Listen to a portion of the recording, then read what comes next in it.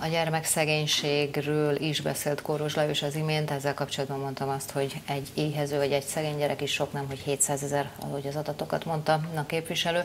Most pedig a gyerekek kapcsán a tankönyvekről is, hogy hogyan próbáljuk őket tanítani, és miből próbáljuk őket tanítani, erről is beszélgetünk, hiszen ezért hívtuk alaptémaként Szél Bernadettet, de aztán az idő túl járt ezen a témánkon. Jó estét kívánok, üdvözlöm! Jó estét kívánok! Abból a szempontból, hogy ön kezdeményezte a Nemzetbiztonsági Bizottság pártja nevében összehívását az amerikai Egyesült Államokból való kitiltás, vagy beutazási lehetőség megtiltása témakörben, ami ugye ma robbant a hír, állítólag ugye, az amerikai nagykövet ügyvívő megerősítette, és állítólag Fidesz közeli üzletemberekről, állítólag NAV munkatársakról, vezetőkről van szó.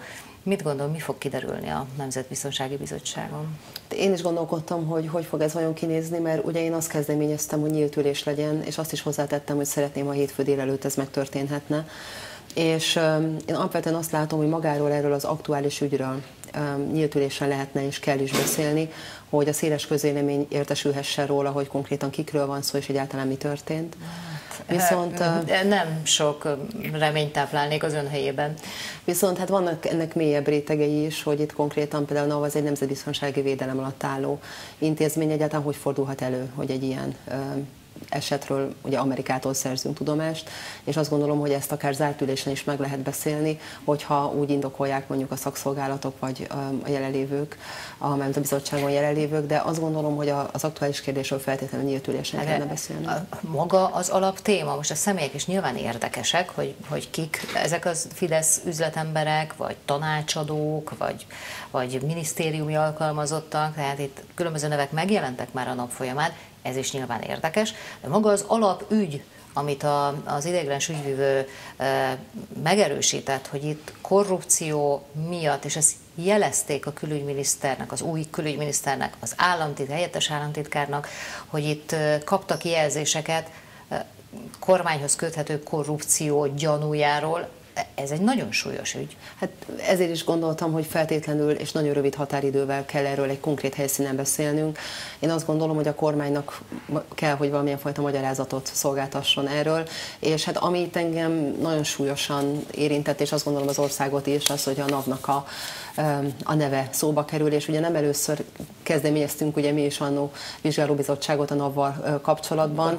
Tehát egyszer már volt olyan helyzetben a NAV, amikor, ami úgy, úgymond magyarázatot követelt. Most ez mennyire egy olyan helyzet, hogyha ez igaz, de még egyszer hát azért nem sajtóból szeretnénk tájékozódni, hanem jöjjenek oda az illetékesek és mondják el, hogy mi folyik itt. Azt gondolom, hogy a NAV-nak is kell lenni valamilyen magyarázatának arra, hogy, hogy egyáltalán mi történt. Szóval láthatóan most ugye sötétben tapogatózunk, vannak bizonyos kiszivárgott információk, vannak értesülések, azt is tudjuk, hogy a megbízott ügyvivő bement a minisztériumhoz. Én semmi akadályát nem látom annak, hogy ami a minisztériumnak a kezébe kerül, a szélesebb körben is nyilvánossá váljon, mert azt gondolom, hogy minden országnak és minden, minden állampolgárnak joga van tudni, hogy éppen a NAV háza körül milyen, tehát mi történik. Hát meg a kormányházak körül mi Természetesen történik. az pedig a másik. De hogy egyetem mi történik, és titkos szobák, meg sötét, meg zajkeltett ablakok, cső, és sose fogom, elfele- sose fogom elfelejteni, amit Paks ügyében mesélt. Viszont ma ennek volt egy érdekes fordulója, másodfokon nyerte meg a Paksi atomerőmű bővítését megalapozó tanulmányoknak a nyilvánosságra hozataláért indított pert. Akkor innentől kezdve mindent meg fogunk tudni?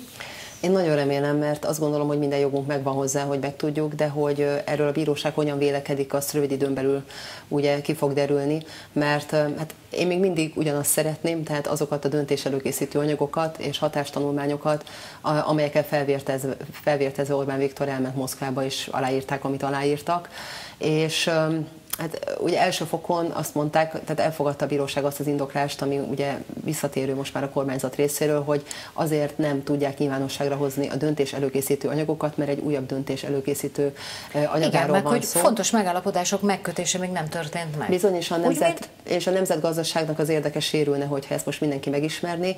Viszont itt látható volt ezen a tárgyaláson, hogy élesen ketté választották azt az időszakot, ami január 14-ével véget ért, amikor ugye maga a kormány fölment ki Moszkvába, és írták alá, amit aláírtak, és ami azt követ, azt, azután következett. Ami nem fontos. És, Mert hogy fontos megállapodásokat még nem írtak alá, azt erre, is mindjárt, erre is mindjárt ki fogok térni, mert ez egy érdekes momentum Igen. ennek az egész játéknak, de az, az tény, hogy a hatástanulmányok és döntéselőkészítő anyagok, azok léteztek, ha egyáltalán léteztek, ugye, január 14-e előtt, és annak semmi akadálya nincsen, hogy a bíróság megvizsgálja, úgymond arányossági tesztet hajtson rajta végre, hogy minek van nagyobb érdeke annak köznek, hogy megismerhesse, vagy a nemzetgazdaságnak, hogy ezeket eltakarhassák. Tehát a lényeg az, hogy ezt nem lehet egy laza kézmozdulattal elsöpörni az asztalról mondván, hogy ezek itt mind titkosak, mert újabb döntések következnek. Az ott egy mérföldkő volt január 14-e, és innentől elkezdve első fokon folytatódik ez az egész történet, és újra van esélyünk arra, hogy megkapjuk, amit megkaphatunk. Viszont a másik, amit említett, számomra is ez egy nagyon meredek része ennek a történetnek, hogy most jelenleg úgy tudom, hogy Aszódi Attila az, aki tárgyal Moszkvával, és megbeszéli azt, hogy konkrétan ezek a megvalósítási megállapodások hogy fognak kinézni. Ennek nagyon bonyolult neve van, megvalósítási megállapodás, de igazából itt arról van szó, hogy hogy, hogy fog kinézni az az erőmű, mivel fogják táplálni, és mi lesz az elhasznált fűtőelemekkel, és az üzemeltetés hogy fog kinézni. Tehát a, a lényeges kérdések a bírósági tárgyaláson elhangzottak szerint ezek most következnek.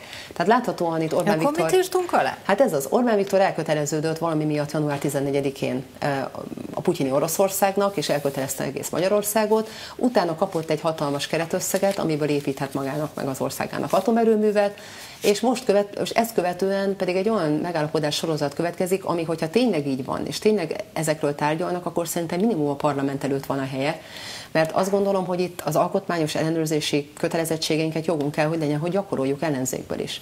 Úgyhogy most én ezt szorgalmazom, hogy akkor szépen jöjjenek vissza a parlamentbe, hogyha ezek ilyen fontos dolgok. Ott van a Szódi Attila, 40 fős tábbal dolgozik, most már Lázár János keze alatt. Tiszteljenek meg minket azzal, hogy a parlamentben bemutatják, hogy mire készülnek.